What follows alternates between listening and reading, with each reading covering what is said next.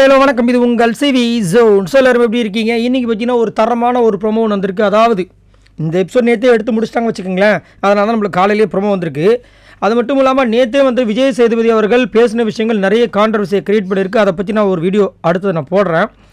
அவர் வந்துட்டு பேசுனது கரெக்டாக இல்லையா? அப்படின்ற விஷயங்கள். அது மட்டும் இல்லாமல் இன்றைக்கும் பார்த்தீங்கன்னா நிறைய ஒரு சம்பவங்கள் காத்துட்ருக்கு இந்த ப்ரொமோன்னு பார்க்கும்போது. இதில் வந்துட்டு அவர் எடுக்க போகிற டாபிக் என்னென்னா BB hotel so BB hotel டாஸ்கில் வந்து ஒரு சில பேர் ஒரு சில பேர் கேரக்டராக வாழ்ந்தாங்க. ஒரு சில பேர் அந்த கேரக்டரை யூஸ் பண்ணி கேவலமாக ரொம்ப பர்சனல் டார்கெட் பண்ணாங்க. நிறைய சண்டைகள் வந்துச்சு. அதில் குறிப்பாக ஜெஃப்ரி அந்த டேபிள் அடித்து உடைக்கும் போதே அந்த விஷயங்கள் சொன்னேன் நான். இது கண்டிப்பாக வந்துட்டு ஏன்னா பிக் பாஸ் ப்ராப்பர்ட்டி அந்த வீடு இதில் ஏதாவது ஒரு விஷயங்கள் பண்ணால் ஆல்ரெடி வார்னிங் கொடுத்துருக்காங்க. ஸோ இது இப்போ பண்ணியிருக்காரு. இவருக்கு கண்டிப்பாக ஒரு டோஸ் இருக்க போகுதுன்னு அதே மாதிரி அந்த விஷயங்கள் விசாரிக்கிறாரு. அதே மாதிரி சௌந்தர்யா வந்து நேற்று வந்து சௌந்தர்யா மேலோட்டமாக கலாச்சாரு. பட் இன்றைக்கி வச்சு செய்வார் அப்படின்றதுல மாற்றுக்கிறதே கிடையாது. ஏன்னா அவங்க அந்த பிபி ஹோட்டல் டாஸ்கில் பர்சனலாக வந்து அட்டாக் பண்ணாங்க.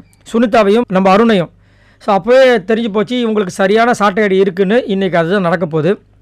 ஸோ அதை விசாரிக்கிறதுக்கு கேட்குறாரு இந்த பிபி ஹோட்டல் டாஸ்கில் வந்துட்டு இவங்க வந்து கேரக்டரில் இல்லாமல் எங்களை பர்சனலாக வந்து தாக்குனாங்க சார். அப்படின்னு உங்களுக்கு ஏதாவது இருக்கா? இருந்துச்சுன்னா ஏதாச்சும் இருந்துச்சுன்னா சொல்லுங்கள் அப்படின்னா எல்லாருமே சைலண்ட்டாக இருக்காங்க. ஏன்னா எல்லாருமே ஒரு விதத்தில் பண்ணியிருக்கிறது அவங்களுக்கு தோணுது ஏன்னா நேற்று வந்து வரு வருவருன்னு வறுத்து விட்டாப்புல. அதனால் ஒரு பயம். சொல்லி ஏதாவது பிரச்சனை ஆயிடுச்சுன்னா அவர் எப்போ கோவப்படுறாரு எப்போ சந்தோஷப்படுறாரு எப்போ கலாய்க்கிறாருன்னே தெரிய மாட்டேன்னு சொல்லிட்டு சைலண்டாக இருக்கும்போது இவர் வந்து திரும்ப இவங்க வழக்கமாக பூசி முழுகுவாங்க பார்த்தீங்களா அந்த மாதிரி தான் இப்போ இருக்காங்க. அப்படின்னும் போது இந்த பக்கம் மக்கள் வந்து சிரிக்கிறாங்க. அப்புறம் முத்து டேரெக்டாக கேட்குறாரு என்ன முத்து? கேரட்லேருந்து வெளியே வந்து யாரும் பர்சனல் மெஜர்ஸ் பண்ணுறதா உங்களுக்கு தெரியலையா அப்படின்னா முத்து இல்லை சார்ன்றாரு. இப்போ விஜய்ஸ் வந்து சௌந்தர்யா நீங்கள் சொல்லுங்கள் அப்படின்னா யார் நல்லா பண்ணாங்கன்னு சொல்லணுமான்னு கேட்குறாங்க பழக்கமாக சௌந்தர்யா கிட்ட ஒரு கெட்ட பழக்கம் என்னென்னா நம்ம ஒரு கொஷினை வந்து சீரியஸாக கேட்டாலும் சரி ஜாலியாக கேட்டாலும் சரி அவங்க அதுக்கு பதில் சொல்லாமல் அவங்களுக்கு தோன்ற ஒரு பதில் சொல்லுவாங்க. அதுதான் செம்ம காண்டாக இருக்கும். நேற்று அவ்வளோ விஷயங்கள் சொன்னதுக்கப்புறமா ஜாக்லின் வந்துட்டு சௌந்தர்யா கிட்ட போய் இந்த மாதிரி கேட்குறாங்க அதுக்கும் நெக்கில் தான் பதில் சொல்கிறாங்க அதே ஒரு சில கேரக்டர்லாம் அப்படி தான் ஒன்றும் பண்ண முடியாது.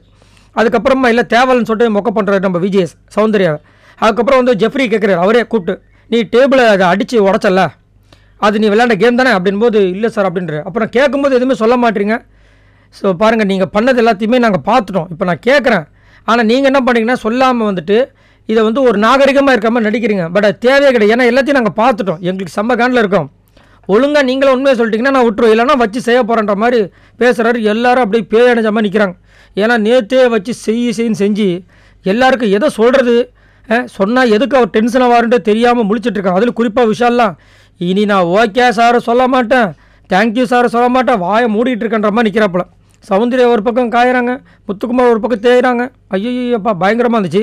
சரி உங்களோட கருத்து சொல்லுங்கள் இன்றைக்கும் இதை மாதிரி தான் இருக்க போது நேற்று விஜய் சேதுபதி அவர்கள் பேசுனது சரியா கரெக்டாக ரெண்டுமே ஒன்று தான் சரியாக தவறா? மறக்காமல் கமெண்ட்ஸ் பண்ணுங்கள் பாய் நண்பர்களை.